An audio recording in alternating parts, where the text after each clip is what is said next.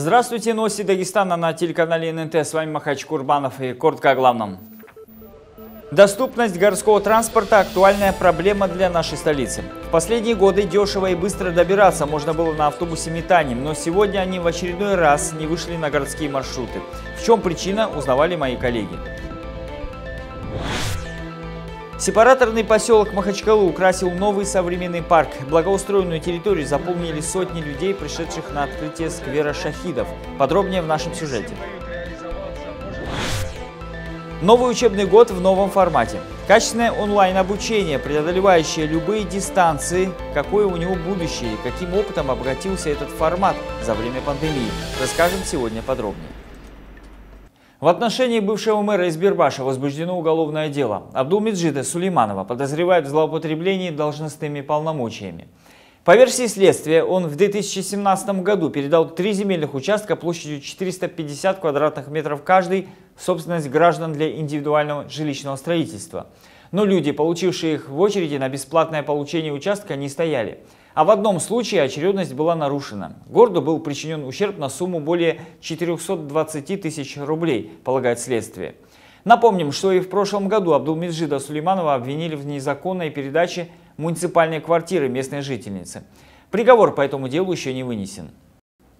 В Акушинском районе на 18-м километре республиканской автодороги Леваши-Акуша сошел оползень. В настоящее время осыпные процессы продолжаются. Проезд для всех видов транспорта в данный момент открыт. Кроме того, имеется объездная дорога. Угрозы населенным пунктам нет. Вдоль дороги находится магазин и АЗС с тремя бензиновыми и двумя газовыми резервуарами, которые постепенно накрывают оползневой массой. Для оценки обстановки от Главного управления МЧС России по Дагестану выехала оперативная группа. Пограничники в Дагестане пресекли два канала перевозки незаконно добытой рыбы осетровых видов. В результате в районе поселка Старотеречный и Новотеречный Кизлярского района задержаны браконьеры. Стоять!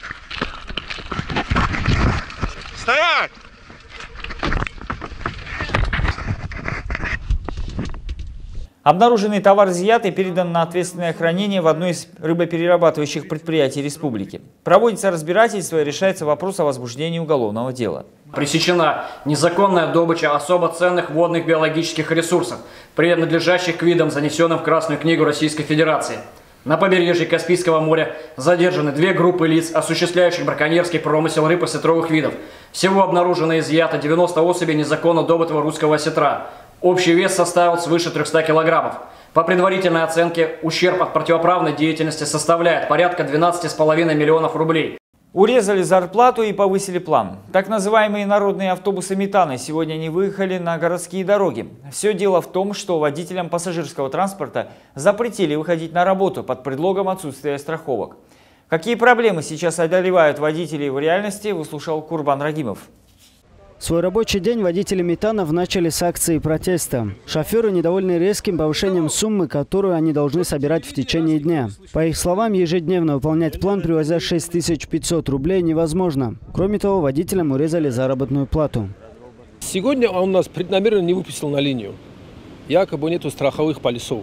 А страховые полиса уже три месяца как просрочены. 6500 рублей собрать на этом автобусе по городу Махачкала вообще нереально. Потому что кроме нас там работают и Нексы, и частники, и троллейбусы, и линникенские автобусы. На каждой остановке будет конкурентом. В ходе нашей беседы с руководством мы никак не достигаем компромисса, диалога. Пока водители и автопарк не могут найти компромисс, страдают простые люди. Отсутствие метанов на дорогах ударит по карману горожан. Этот вид транспорта соединяет Махачкалу с Каспийском и пригородными поселками. Стоимость проезда всего лишь 15 рублей. Автобусы удобные и всегда были востребованы. В день они перевозят порядка 15 тысяч пассажиров. В основном бывает э, большинство э, родителей с детьми. Мы за это даже не спрашиваем, почему дети не платят молча мат платит за себя. Инвалиды Ин, инвалиды Великой Отечественной войны, это ясно, это единицы остались. Мы на них, когда удостоверение они покажем, мы даже на это не смотрим. И бывают некоторые пенсионные удостоверения показывают и выходят тоже. И, и, и на это тоже внимание не обращаем. Кто отдал, сегодня 10 отдал, завтра 11 отдал. Бывает 6 рублей дает, тоже выходят люди. Бывает, которые вообще не дают, тоже выходят люди.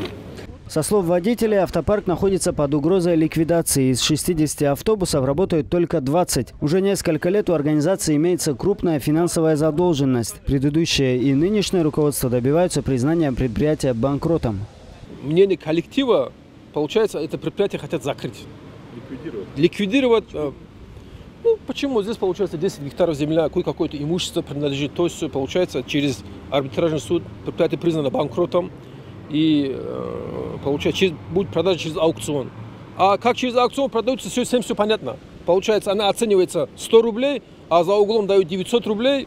И мимо налогу, мимо государственной казны вот так все уходит. Рассказать о проблеме публично – это на сегодня единственный выход для сотрудников. Водители признаются, терпят уже долго. И в случае, если проблема не решится в ближайшее время, они планируют выйти на площадь, чтобы отстаивать свои права. По этому поводу мы раньше обращались президенту Российской Федерации, Генеральной прокуратуры Российской Федерации, Васильеву, нашему республиканскому прокуратуре, трудовой инспекции. Все считают, что мы правы, однако решительных мер никто не принимает. 10 лет работал в Москве на автобусе. Я такого еще не видел. Интерес нету никакого правительству. Никакого интереса нету. Весь автобусный гараж стоит здесь.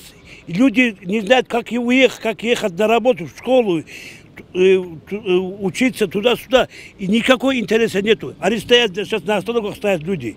Почему не пришли сюда, не узнавали, почему они стоят, почему они не выехали. Им никакого интереса нету здесь. Интерес был бы, они пришли бы сюда. Вот что я хочу сказать. Курбан Рагимов, Магомед Магомедов, телеканал ННТ, Махачкала. Сепараторный поселок Махачкалы украсил новый парк, открытие которого без преувеличения ждали все. На торжественную церемонию пришли сотни людей, взрослые и дети. Они уже успели покататься на качелях и позаниматься спортом. Облагороженную территорию, где раньше стояло здание, сгоревшее в 2003 году школы-интерната, назвали сквером шахидов в честь погибших детей, а также в памяти о дагестанцах, отдавших своей жизни ради благополучия родного края. На открытии сквера был и наш корреспондент Хамза Нурмагомедов. Моя мечта сбылась. Долго ждала этого дня. Отлично, поаплодируйте друг другу. Это мама одного из тех ребят, которые 17 лет назад в школе-интернате оказались в огненной ловушке. К сожалению, ее десятилетний ребенок в ту трагическую ночь не смог спастись. Память о нем и всех тех, кто покинул этот мир при пожаре, на месте трагедии муфтия Дагестана обустроил сквер шахидов. Позвольте поприветствовать всех собравшихся в этот значимый для всех нас день от имени муфти Республики Дагестан шейха Ахмада Фанди Абдулаева и всех сотрудников муфтията. И сегодня мы с радостью можем сказать, что готовы к открытию этого сквера. Те, кто тогда, будучи совсем юными, учился в интернате, сегодня, повзрослев, вспоминают ужасные события той ночи и ушедших в мир иной одноклассников. Однако они радуются, что имена погибших не забыты, и территория, где развернулась трагедия, стала памятным местом и не осталась заброшенной. Здесь не построили многоэтажные жилые здания и коммерческие объекты, а возвели уютный парк, который будет теперь напоминанием о трагедии и символом надежды на будущее. 11 лет назад, когда еще будучи муфтием, Ахмад Хаджи сказал, что он теперь наш старший брат, и он один из нас. И какой бы мы к нему не обращались, он всегда оказывал нам поддержку. Когда мы обратились в муфтият по поводу парка в этом месте, он нас заверил, что возьмет этот вопрос под свой контроль. И вот теперь мы все собрались здесь, чтобы открыть этот прекрасный парк памяти наших погибших братьев. Мы очень переживали за это место, нам было очень больно и грустно. Сегодня такой знаменательный день, мы очень рады, что здесь обустроили сквер. На открытие сквера пришли сотни людей, взрослые и дети, на лицах у собравшихся искренние улыбки. Теперь здесь можно покататься на качелях, позаниматься спортом и просто спокойно провести время с семьей. Очень давно ждали этот парк. Это единственное место в этом районе, где можно с детьми погулять. Раз вы в школу пойдете, Ну, скажите. Очень рады. Весь, почти весь, видите, весь район вышел сегодня на улицу. Рады, что построили его. Что еще сказать? Спасибо всем, кто принимал участие. Работа огромная. Я надеюсь, все сохранится и все будет э, процветать, все лучше и лучше здесь будет. Да, приятно будет отдыхать нам, жителям. хотел пожелать нашему мэру, короче, чтобы таких скверов, здесь таких парков, короче, чтобы через хотя бы 2-3 квартала, чтобы было. Это такие крас красивые места. Я больше нигде не видел, начиная с центра города до конца города. Нету больше таких мест. Короче. Благоустроить территорию удалось в первую очередь при помощи волонтеров, общественников и меценатов. Им вручили заслуженные благодарственные письма и памятные подарки. Мэр Махачкалы, который поддержал идею и содействовал реализации проекта обустройства сквера, обратился к горожанам на торжественном открытии. Еще недавно мы не могли представить себе, что махачкалинцы могут спокойно гулять в парках. А сегодня мы открываем новые общественные пространства. Те места, где можно дополнительно гулять, нам уже не хватает места, где проводить достойно досуг. И э, в этой части это, конечно, незаменимо.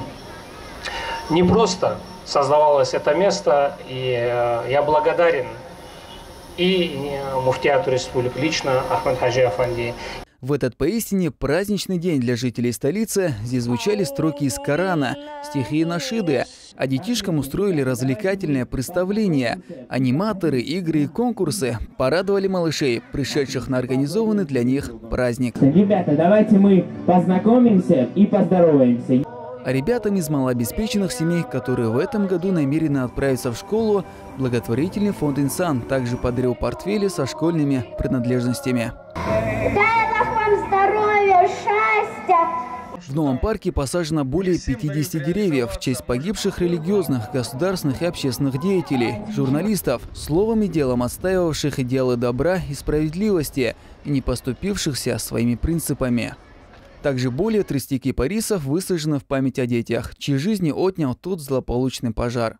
Как отмечают организаторы, работа по обустройству парка будет продолжаться, а это место станет новой зеленой точкой на карте Махачкалы, куда люди будут стремиться прийти, чтобы отдохнуть и вспомнить тех, благодаря кому сохранялись мир и благополучие в республике.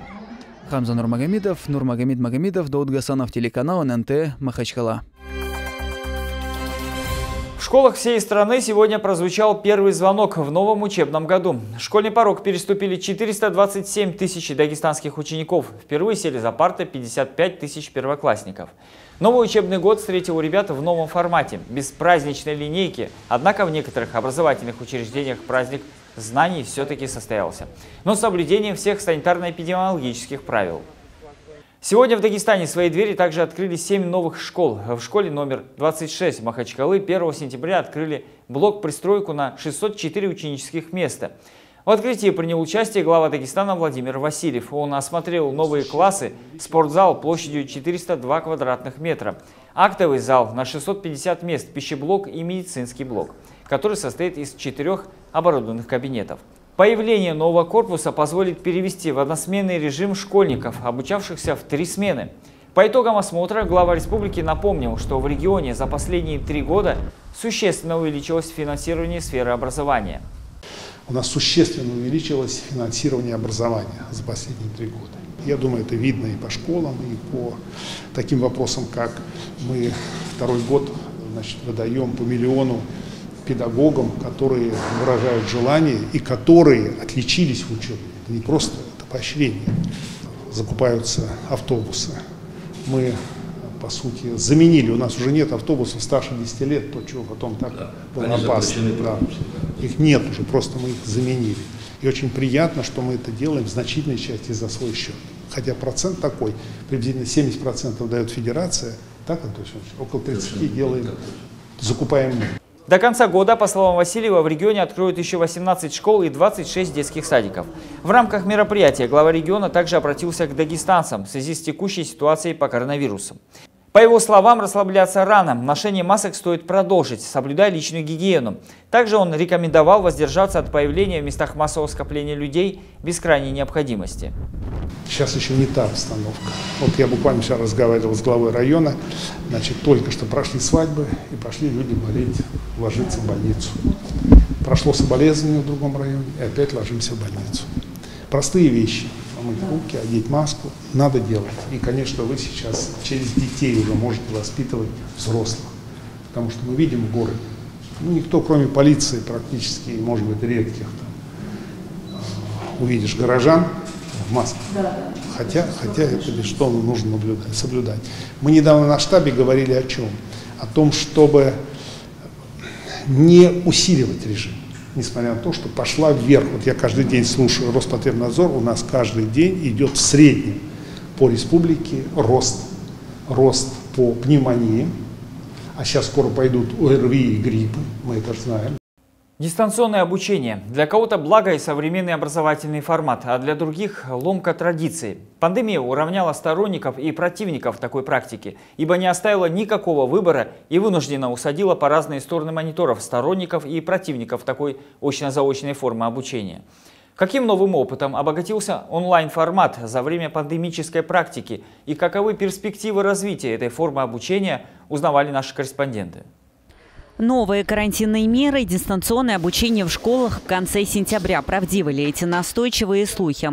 Подобные домыслы распространяются в последнее время в интернет-пространстве, будто бы грядет вторая волна заболеваемости, которая вновь переведет школы на дистанционку. Опасения есть до сих пор, да, что может быть закроют, опять будет э, дистанционно. Это волнует, конечно, очень тяжело. Школа вообще онлайн будет или пойдут? У меня первый класс внук. Так что я даже не знаю, пойдет он в школу, не пойдет. Я не хочу в школу. Ну, здравствуйте. Почему? Нет, нет. Дома лучше. Ты хочешь на онлайн обучение? Всегда. Есть риск, ну а что теперь что делать? Другого выхода надо. нет. Нету, нету, да. Официально никто ничего не объявлял. А так, э, я думаю, учитывая, что больных сейчас с каждым днем становится больше, и в центральной больнице, и в первой городской больнице уже новые отделения открывают. Родители, которые оказались между слухами и реальностью, как между молотом и наковальней, уже не верят никому и на всякий случай готовятся к новой дистанционке. Как говорится, готовы учиться по старинке до первого чиха, а потом, может, и снова по домам. Судя по динамике прироста больных COVID-19, статистика только подливает масло в огонь сомнений. Кроме того, помимо коронавирусной угрозы, предрекают еще и приход новых штаммов гриппа.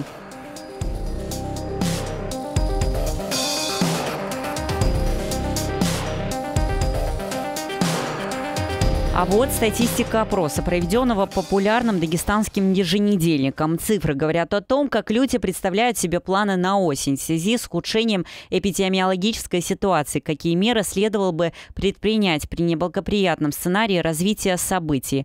Так вот, большинство из голосовавших за закрытие школ, переход на дистанционное обучение и соблюдение строгого режима, а 78% и вовсе предрекают, что новой волны дистанционки не миновать. Сразу после начала начала пандемии случился тотальный переход на онлайн-обучение. Многие из родителей не были к такому готовы, так как понятия не имели, что это и как справиться самостоятельно с таким объемом задач. Во время карантина общеобразовательная школа «Дом знаний» успела применить свой наработанный опыт дистанционного обучения с 20 тысячами ребят, причем бесплатно. Из-за непонимания э, в классических школах процесса дистанционного обучения столкнулись люди с тем, что образование проходило, грубо говоря, в мессенджерах. В этой связи э, наша школа Дом знаний, приняв к себе около 21 тысячи учеников со всего Дагестана, показали вот э, процесс, как он, в принципе, должен происходить. Здесь, в онлайн-школе «Дом знаний», ученики могут присутствовать на уроках в режиме реального времени, не выходя из дома, находясь на связи с квалифицированными педагогами. Большим преимуществом такого обучения является то, что родителям не нужно обучать детей собственными силами или нанимать репетиторов, которые не всегда обходятся дешево, и результативность их тоже подчас спорна. Определяется как раз-таки траектория развития, психолог проводит собеседование с ребенком. И, э, естественно, каждую четверть получают родители отчет от психолога, от педагогов, где рассказывается о том, э, насколько эффективно он освоил программу за текущий период времени и на что следует обратить внимание, то есть рекомендации со стороны наших специалистов. По мнению специалистов онлайн-школы, важной составляющей в работе с ребенком является грамотная психологическая работа. Такой подход может вовлечь в обучение даже не очень мотивированных детей уделяется тотальное внимание ребенку. И в этот момент не только ребенок, взрослый человек тоже чувствует, я нужен, я есть, и мне уделяется это внимание. Когда педагог а, вот это время уделяет именно этому ребенку, ребенок растет в это время, потому что ну, ребенок может развиваться только в атмосфере доброжелательности, любви, и получает такое качественное внимание, чего часто в обычной школе он бывает лишен. Для знакомства со своими методиками онлайн-школа «Дом знаний» предлагает поучаствовать в бесплатном недельном курсе обучения с лучшими педагогами, причем по всем предметам, после чего по запросам учеников учеников составляется индивидуальная программа и начинается комплексное обучение. еще одним преимуществом такого формата является то, что дети имеют возможность правильно организовывать свое время и освобождать вечера для прогулок или дополнительных занятий по интересам. Любой зарегистрированный пользователь неделю получает бесплатного обучения согласно той системе регистрации, которую он захочет. Либо это по предметам обучения, либо обучение без зачисления, когда ребенок может совмещать обучение в классической школе и у нас используя нашу платформу для того, чтобы улучшить свои знания, или же полное зачисление с передачей документов, собственно говоря, в наше видение. Алина Багилова, Муса Салгиреев, Магомед Магомедов, телеканал ННТ Махачкала.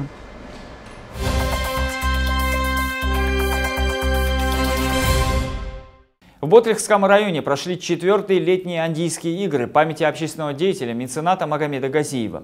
В рамках мероприятия были проведены четыре турнира по вольной борьбе, по грэплингу, по футболу и по подтягиванию на перекладине. На игры были приглашены представители всех сел Андийского округа. Количество участников превысило 300 человек. По мнению главы района, спорт воспитывает сильный дух и характер, популяризирует здоровый образ жизни и очень привлекает подрастающее поколение. Данное мероприятие имеет особое значение, особенно в нашем округе, Андийском округе, потому что они способствуют э, объединению, сплочению нашего народа. Спасибо организаторам мероприятия за такую прекрасную организацию и вообще за мысль проводить летние андийские игры. И хочу сказать, что они традиционно проходят на прекрасном уровне, и состав участников с каждым годом только расширяется. Студентка Московского государственного университета, уроженка Дагестана, инвалид первой группы по зрению Саида Гаджиева совершила восхождение на гору Шалбуздак. В экспедиции также приняли участие спасатели МЧС, профессиональные альпинисты. Восхождение было организовано торговым домом Киргу и приурочено к 25-летию компании. Одной из задач акции была демонстрация безграничных возможностей людей с инвалидностью. Было трудно, дорога была сложной, но все же удалось с ней справиться. Могу сказать, что восхождение изменило меня как человека, обострило чувство веры во Всевышнего, придало сил и энергии для достижения новых целей, сказала Гаджиева. Как призналась Аида Гаджиева, в следующем году в ее планах покорение горы Эльбрус. И на этом все. Оставайтесь с нами, не переключайтесь, смотрите наши новости. До свидания.